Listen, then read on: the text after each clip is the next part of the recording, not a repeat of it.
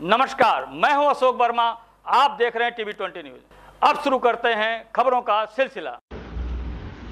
खबर आजमगढ़ से है, जहाँ भाजपा नेता रमाकांत मिश्र, श्रम प्रकोष्ठ क्षेत्रीय संयोजक, ने कहा कि समाज के हर वर्ग को राहत देने वाला बजट बनाया गया है। बता दें कि केंद्र सरकार के बजट का भाजपा नेता रमाकांत मिश्र श्रम प्रकोष्ठ क्षेत्रीय संयोजक ने स्वागत किया है, जिसमें सपा, बसपा, कांग्रेस के नेता जन विरोधी बजट बता रहे हैं। वहीं वरिष्ठ भाजपा नेता रमाकांत मिश्र ने कहा कि बजट में हर वर्ग और क्षेत्र का विशेष ध्यान रखा गया है।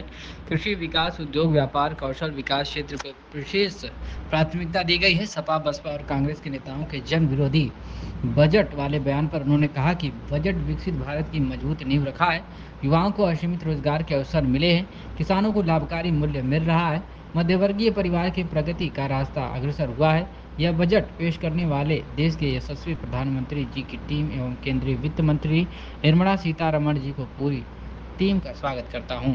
उन्होंने पूरे देश को मोदी जी का जो सपना दो में विकसित भारत दुनिया की रहनुमाई करेगा, यह बजट उसके लिए एक मज़बूत नींव है पहली बार उत्तर प्रदेश में किसानों को निःशुल्क बिजली मिल रही है, जो एमएसपी की चर्चा लंबे समय से लोग किसानों के हित में करते थे आज उनके लागत मूल्य से 50 प्रतिशत अधिक देने के लिए बजट में प्रावधान भी है। क्या कुछ कहा उन्होंने मीडिया से बातचीत करते हुए आपसे?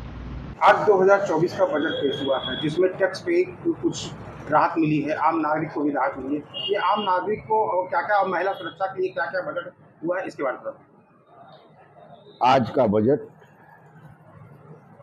विकसित भारत की मज़बूत नींव रख रहा है। युवाओं को असीमित रोज़गार के अवसर मिल रहे हैं। किसान को लाभकारी मूल्य मिल रहा है।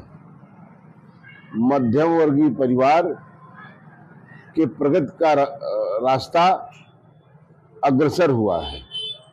यह बजट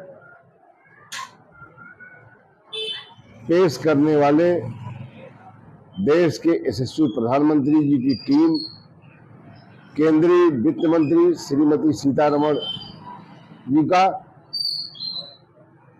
मैं उनकी पूरी टीम का स्वागत करता हूँ, अभिनंदन करता हूँ, जिन्होंने देश को, जो मोदी जी का सपना है, जो विजन है, दो में विकसित भारत दुनिया की रहनुमाई करेगा, उसकी यह आज का बजट मज़बूत नींव है। क्या ग्रामीण क्षेत्र में या किसानों को क्या फ़ायदे होंगे? इसके बारे में थोड़ा सा स्पष्ट रूप से। पहली बार उत्तर प्रदेश में किसानों को निःशुल्क बिजली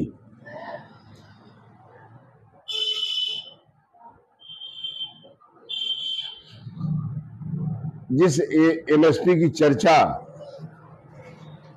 लंबे समय से किसानों के हित में लोग करते थे आज उनकी लागत से 50 प्रतिशत ज़्यादा मूल्य पर लाभकारी मूल्य देने के लिए इस बजट में प्राविधान है।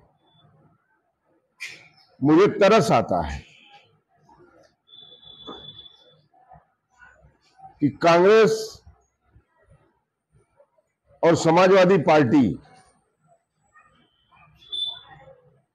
इस बजट की मुखालफत कर रहे हैं। छोटे व्यापारियों को, बड़े व्यापारी को भी टैक्स में भी राहत मिली है, इसके बारे में पहली बार समाज के हर वर्ग को यह राहत देने वाला बजट है। महँगाई को नियंत्रित करने वाला बजट है। विकास के रास्ते पर देश को ले जाने वाला बजट है।